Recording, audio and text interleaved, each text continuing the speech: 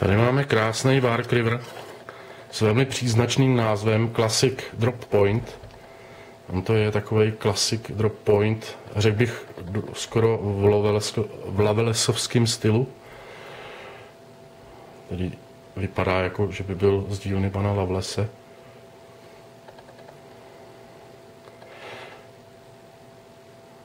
Velkou zajímavostí je, že je z Elmaxu.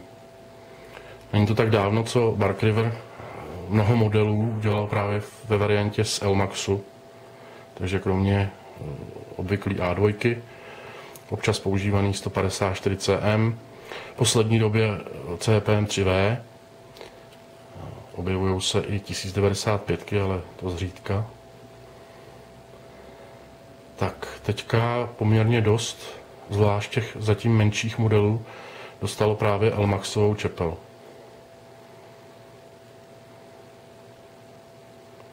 Krásný to, no to trošku rušejí ty parohové střenky.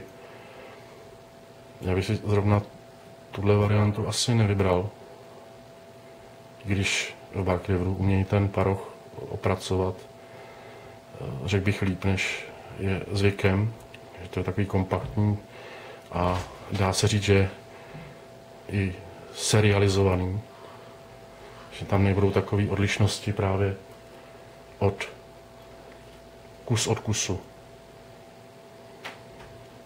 A jinak no už optimální velikosti s krásným čistým drop pointem v konvexu.